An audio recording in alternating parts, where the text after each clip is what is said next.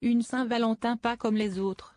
Alors que la fête des amoureux approche à grands pas, de nombreux couples commencent déjà à tout planifier. Pour le prince Harry et Meghan Markle, le programme semble déjà bouclé.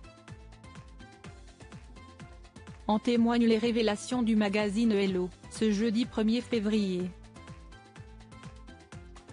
Comme l'ont indiqué nos confrères britanniques, le duc et la duchesse de Sussex devraient passer la Saint-Valentin à Vancouver, au Canada. Le couple aurait notamment prévu d'assister à One Year to Go un événement organisé en marge de l'édition 2025 des Invictus Games. À cette occasion, le prince Harry et sa compagne pourront ainsi rencontrer les participants à la prochaine édition de la compétition, visiter les installations sportives, mais aussi assister à des entraînements. Pour rappel, la prochaine édition des Invictus Games, qui se déroulera du 8 au 16 février 2025, proposera pour la première fois des disciplines hivernales. Étant donné que les Jeux auront lieu au Canada, il se pourrait que les Sussex assistent à cet événement en famille. Du moins, c'est ce qu'avait laissé sous-entendre Meghan Markle dans de sa prise de parole lors de la dernière édition de l'événement, à Düsseldorf. Je suis très fier de faire partie de cette famille Invictus avec vous tous. Je suis reconnaissante à tous ceux qui sont ici.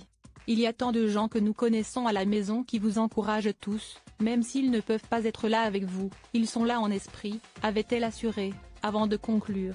Passez un bon moment, nous vous encourageons, et nous avons hâte d'amener nos enfants pour qu'ils puissent voir à quel point si est génial. Merci les gars, vraiment beaucoup. Meghan et Harry, plus complices que jamais aux Invictus Games Harry et Meghan, retour sur leur précédent voyage au Canada pour Meghan Markle et le prince Harry, ce sera donc le deuxième voyage au Canada pour préparer les Invictus Games.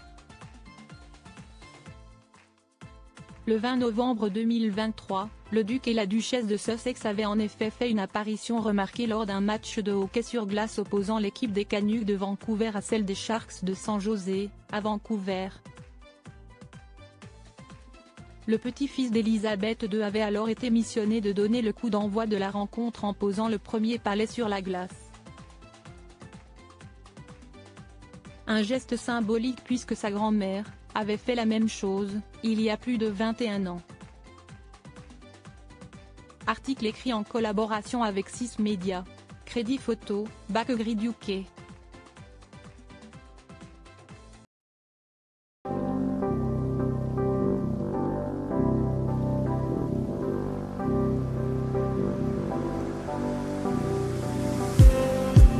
just me.